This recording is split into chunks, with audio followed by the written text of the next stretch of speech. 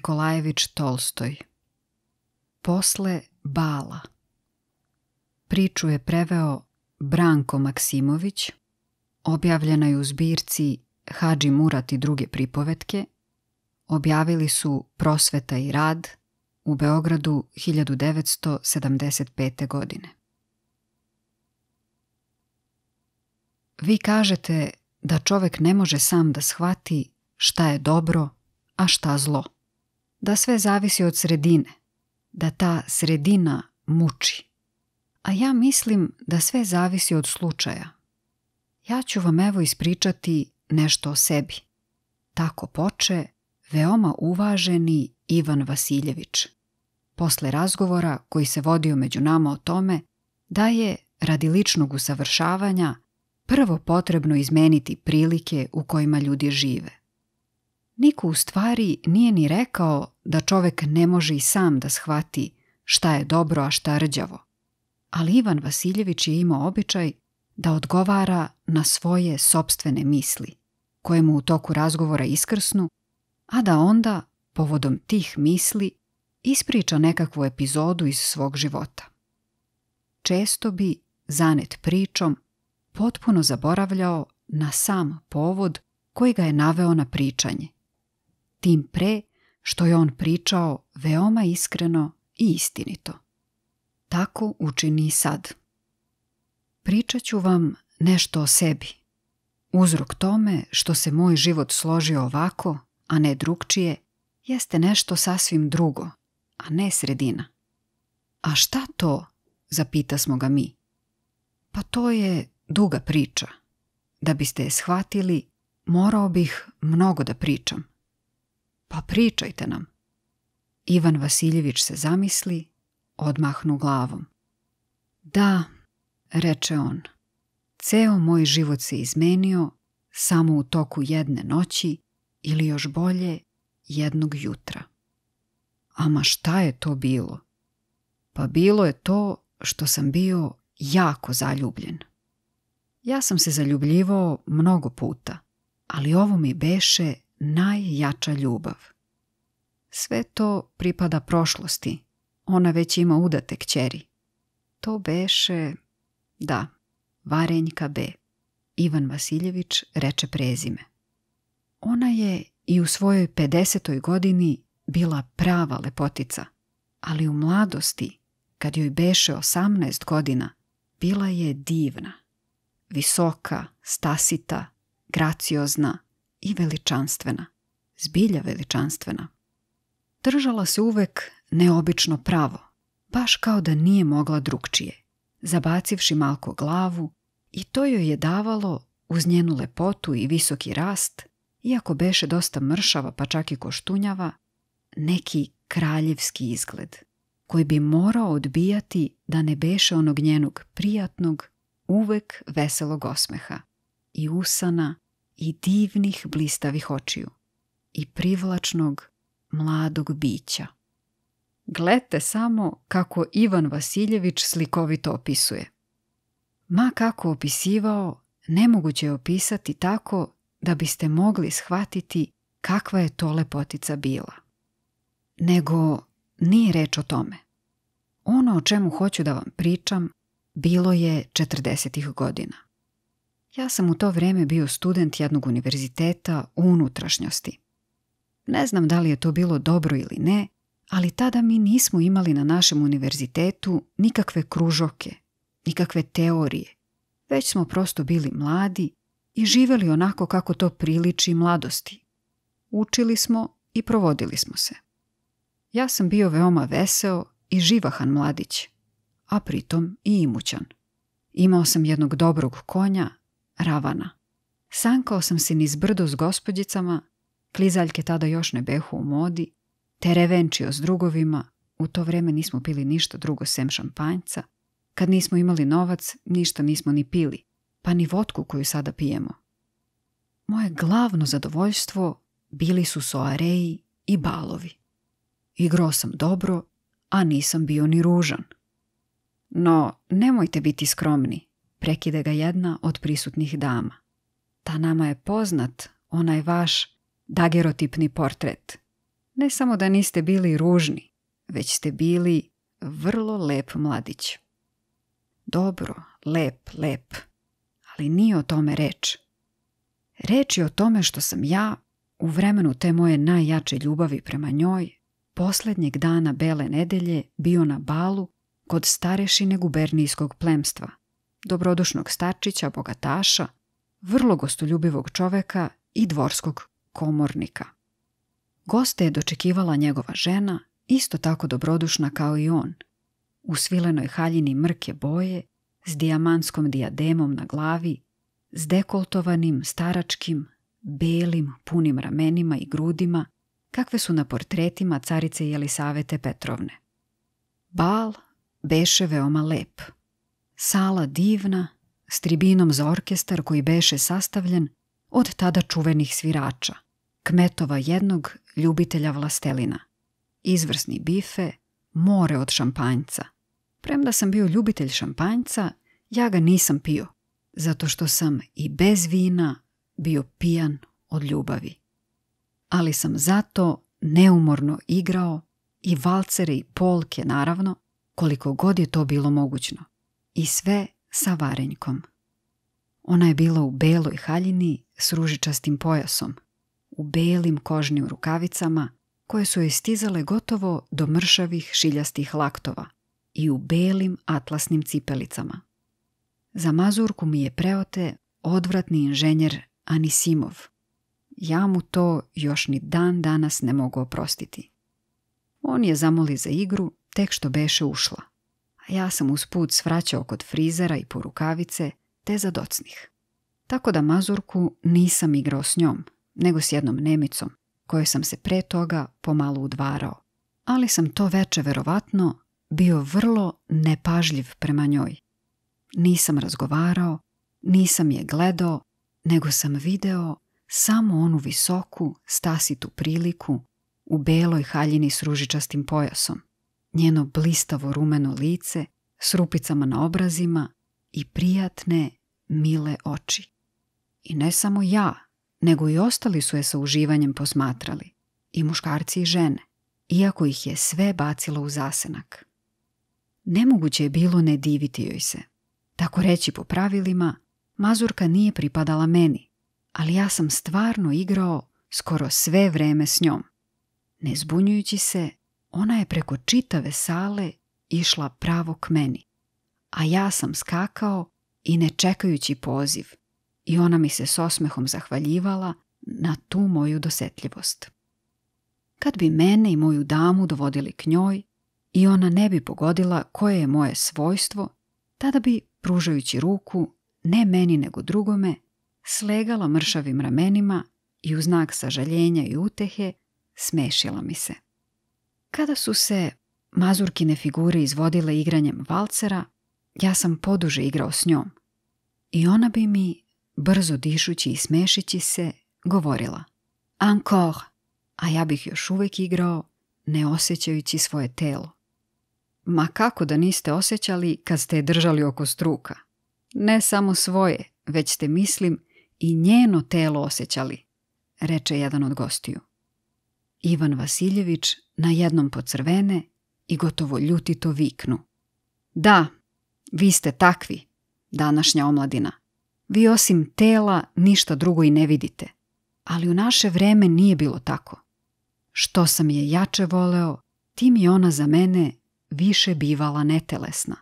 Vi sad vidite noge, listove i bog zna šta još. Vi u mislima razgolićujete ženu u koju ste zaljubljeni. A za mene su, kao što je rekao Alphonse Carr, to beše dobar pisac, za mene su na predmetu moje ljubavi bile uvek bronzane haljine. Daleko od toga da ih razgolićujemo. Mi smo se, naprotiv, trudili još da prikrijemo njihovu nagotu, kao dobri Nojev sin. Nego nećete vi to razumeti. Ma ne slušajte ga. Šta je bilo dalje? Reče jedan od nas. Dakle, eto, igrao sam uglavnom s njom i nisam ni osjetio kako prolazi vreme. Muzikanti su od silnog umora već s nekim očajanjem. Znate već kako to biva pred kraj bala.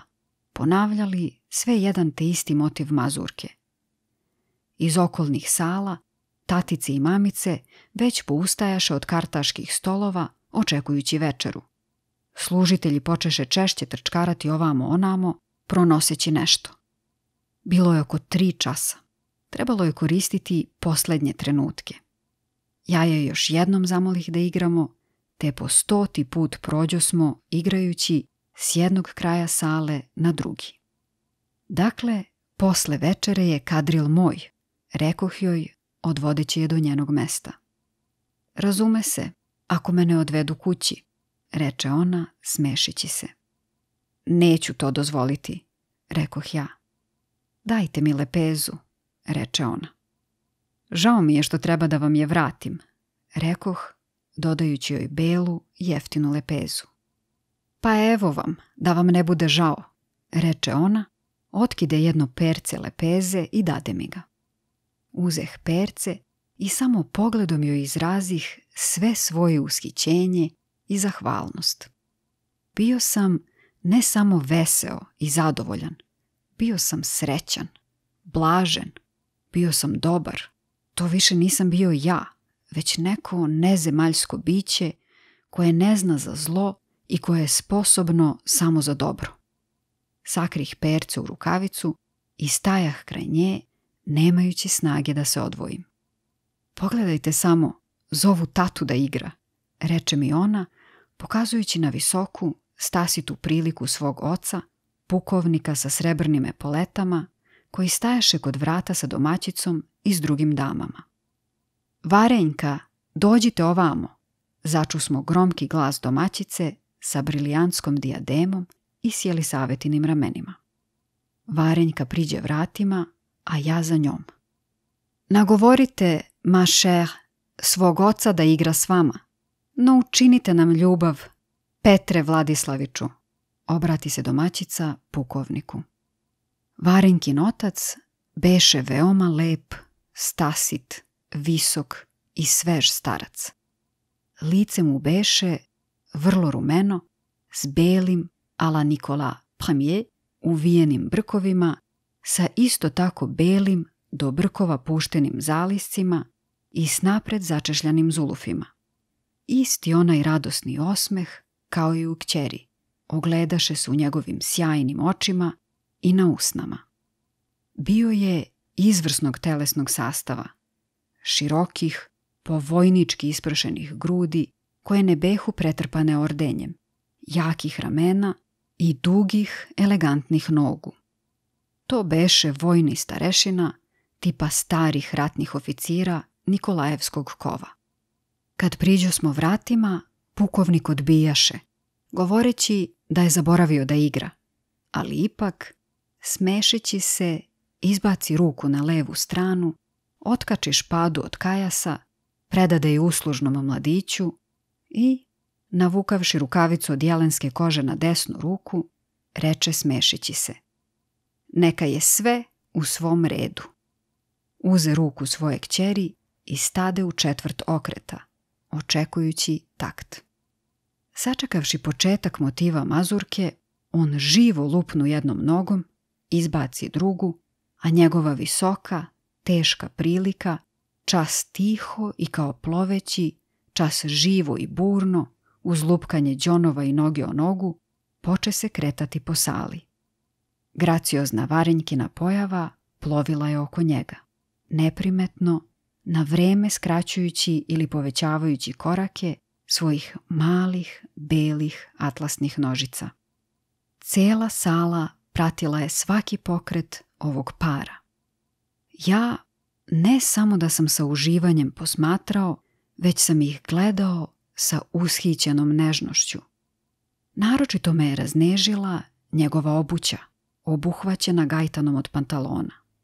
Dobra obuća od teleće kože, ali ne moderna sa šiljastim vrhovima, već starinska sa četvrtastim i bez potpetica.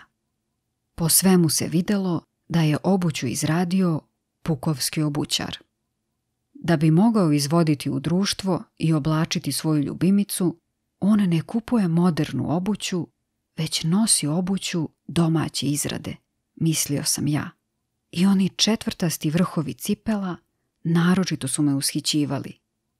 Videlo se da je nekad igrao divno, ali sad beše težak i noge mu ne behu više dovoljno gipke za sve one lepe i brze pokrete koje se trudio da izvede.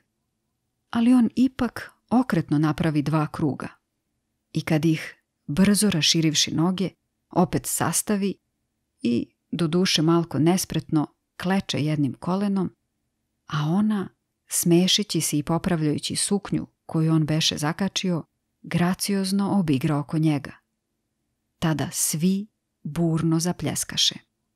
Podigavši se sa izvesnim naprezanjem, on nežno, umiljato prihvati kćer rukama povrh ušiju, pa, poljubivši u čelo, dovede je do mene, misleći da ja igram s njom. Ja rekoh da nisam njen kavaljer. Svejedno, igrajte sad malo vi s njom, reče on ljubazno se smešeći i opet prikači špadu za kajas. Kao što posle jedne kapi koja isteče iz kakve boce, pojuri čitava sadržina u velikim mlazivima, tako i u mojoj duši, ljubav prema varenjki oslobodi svu moć ljubavi skrivenu u mojoj duši. Moja ljubav grlila je tada celu vasionu.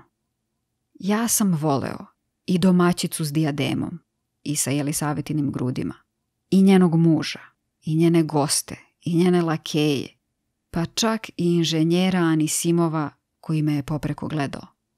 A prema njenom ocu, s njegovom obućom domaće izrade i prijatnim osmehom koji je ličio na njezin, osjećao sam u to vreme nekakvo ushićenje. Mazurka se svrši, domaćini pozvaše goste na večeru, ali pukovnik B se izvini, rekavši da ujutru mora rano ustati i oprosti se s domaćinima. Bio sam se uplašio da će i nju povesti, ali ona ostade s majkom.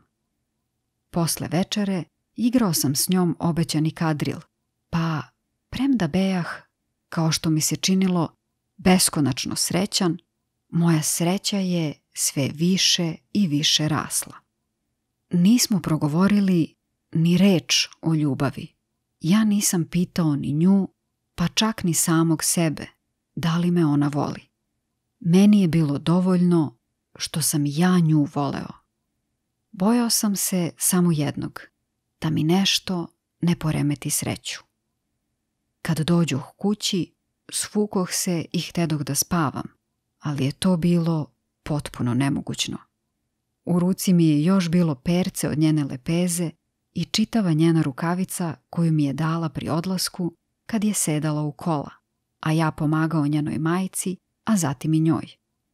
Posmatrao sam te njene stvari i, ne zatvarajući oči, video sam je pred sobom.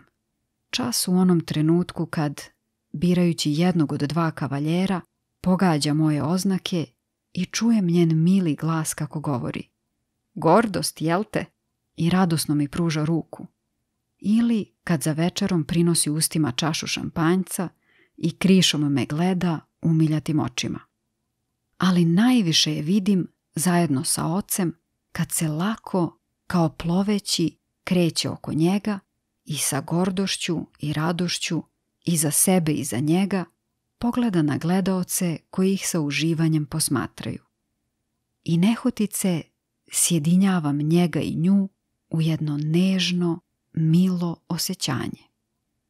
Tada sam stanovao sa svojim pokojnim bratom. On uopšte nije voleo društvo, niti odlazio na balove i u to vreme se još ispremao za završne ispite na univerzitetu, pa je živeo vrlo urednim životom.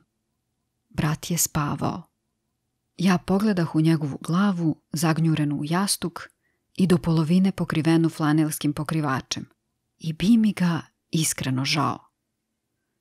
Žao zato što on nije znao i nije delio sa mnom onu sreću koju sam ja osjećao. Naš služitelj, kmet Petruša, iziđe mi u susret sa svećom i htede da mi pomogne da se svučem, ali ja ga pustih da ode. Izgled njegovog pospanog lica sa razbarušanom kosom učini mi se nežno dirljiv. Trudeći se da ne lupam, na prstima uđuh u svoju sobu i seduh na postelju. Ali bejah i suviše srećan da bih mogao zaspati. A uz to mi beše i vruće u zagrejanim sobama. I ja, ne skidajući sa sebe uniformu, polako iziđuh u predsoblje, obukoh šinjel, otvorih spoljna vrata i iziđuh na ulicu. Sa bala sam otišao oko pet časova.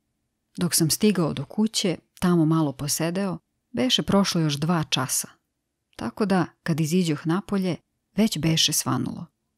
Bilo je pravo, pokladno vreme. Magla, vlažan sneg se topio po putu i sa svih krovova kapalo je. Oni tada stanovahu na kraju varoši, pored jedne velike poljane. Na jednom kraju te poljane beše šetalište, a na drugom devojački institut. Ja prođoh našu mirnu uličicu i iziđoh na jednu veliku ulicu gde počeh sretati pešake i rabadžije kočijaše s drvima na saonicama koje su svojim salincima dodirivale kaldrmu. I konji koji su ravnomerno klimali svojim mokrim glavama ispod sjajnih kolskih lukova i kočijaši pokriveni asurama koji su šljapkali svojim ogromnim čizmama pored kola i kuće one ulice koji u toj magli izgledahu vrlo visoke, sve mi to beše naročito milo i značajno. Kad iziđuh na poljanu gde beše njihova kuća, ugledah na njenom kraju, u pravcu šetališta, nešto veliko, crno. I začuh zvuke flaute i doboša koji su dolazili odande. Meni je neprestano u duši nešto pevalo i čas po čas učinilo bi mi se kao da čujem motiv mazurke. Ali ovo beše nekakva druga, gruba, ružna mazurka. Šta li je to, pomislih, i klizavim putem koji beše sredinom polja ugažen, pođuh u pravcu tih zvukova. Prešavši jedno sto koraka, kroz maglu počeh razaznavati neku gomilu crnih ljudi, očigledno vojnici. Jamačno neka vežba, pomislih, pa priđoh bliže, zajedno s jednim kovačem u umašćenom kožuhu i kecelji, koji je nosio nešto i išao predamnom. Vojnici u crnim mundirima stajahu u dva reda, jedni prema drugima, držeći pušku knozi i ne micahu se. Iza njih stajahu dobošar i flautista i neprestano ponavljahu onu istu neprijatnu piskavu melodiju. Šta oni to rade? Upitah kovača koji zastade zajedno sa mnom. Teraju kroz šibe Tatarina koji je begao iz vojske, ljuti to reče kovač, zagledajući se u udaljeni kraj redova. I ja počeh gledati u tom pravcu i spazih između redova nešto strašno što se približavalo k meni. To što se meni približavalo beše čovek. Do pojasa go, privezan za puške dvaju vojnika koji su ga vodili. Uporedo s njim išao je nekakav čovek u vojničkom šinjelu i kapi, čija mi se prilika učini poznatom. Dršćući celim telom, šljapkajući nogama po snegu koji se topio, kažnjenik se, pod udarcima koji su pljuštali na njega sa obeju strana, približavao meni, čas preturajući se unazad i tada bi ga podoficiri koji su ga vodili pomoću pušaka gurali napred, čas opet posrćući napred. Tada bi ga podoficiri, zadržavajući ga da ne padne, vukli unazad. I, ne zaostajući iza njega, čvrstim, kad kad drhtećim korakom, išao je onaj visoki čovek u uniformi. To beše njen otac, sa svojim rumenim licem i belim brkovima i zaliscima. Pri svakom udarcu kažnjenik bi, kao čudeći se, okretao lice unakaženo od bola na onu stranu sa koje je pao udarac. Pa, pokazujući bele zube, ponavljao je sve jedne te iste reči. Tek kad se sasvim približi, ja čuh te reči. On nije govorio, već jecao smilujte se, braćo, smilujte se, braćo. Ali braća nikako da se smiluju. I kad se ta procesija sasvim poravna sa mnom, opazih kako jedan vojnik, koji je stajao nasuprot meni, odlučno koraknu napred i, uzmahnuvši palicom tako da ova zafijuče, snažno ošinu njome po Tatarinovim leđima. Tatarin posrnu napred, ali ga podoficiri zadržaše i isti takav udarac pade na njega i sa druge strane. Pa opet sa ove, pa sa one. Pukovnik je išao pored njih i gledajući čas sebi pod noge, čas u kažnjenika, uvlačio vazduh šireći obraze i polako ga ispuštao kroz napućena usta. Kad procesija prođe ono mesto gde sam stajao, samo na jedan trenutak ugledah leđa vojnika koga su šibali. To beše nešto tako šareno, vlažno, crveno, neprirodno, da nisam verovao da bi to moglo biti čovečje telo.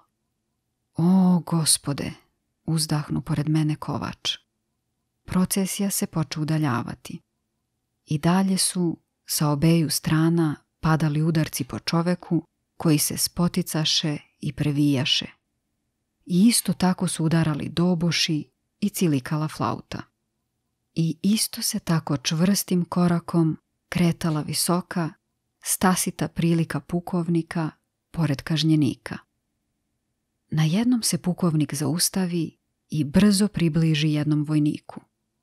Da te ne pomilujem ja, čuh ja njegov razjareni glas. Hoćeš da miluješ? Hoćeš?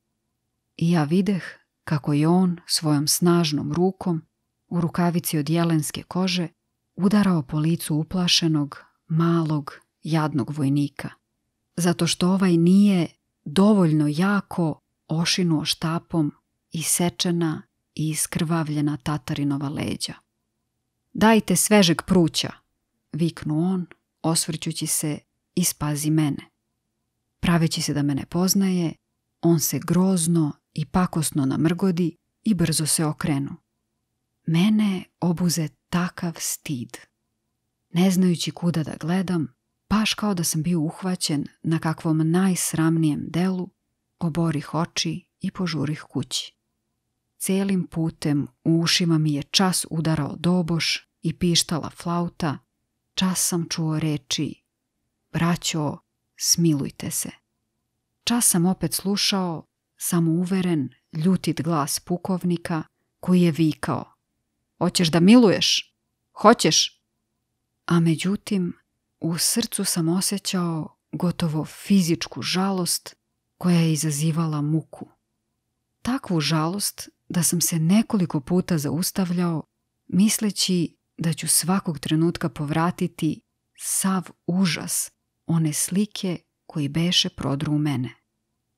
Ne sjećam se kako sam se dovukao do kuće i kako sam legao, ali tek što sam zadremao, opet začuh i videh sve to i skočih. Očevidno da on zna nešto što ja ne znam, mislio sam u pukovniku. Kad bih ja znao to što on zna, tada bih shvatio i ono što sam video i to me ne bi mučilo. Ali, ma koliko da sam razmišljao, ne mogu razumeti ono što je znao pukovnik. I zaspah tek predveče. I to tek posle posete jednom prijatelju sa kojim sam se napio. Vi valjda mislite da sam ja tada zaključio da je ono što sam video bilo nešto ružno. Nimalo. Ako se to radilo sa tolikim samouverenjem i svi su smatrali da je to neophodno potrebno, onda su svakako znali nešto što ja nisam znao. Pomislih i potrudih se da to saznam. Ali, ma koliko da sam se trudio, ja to ni kasnije nisam mogao doznati.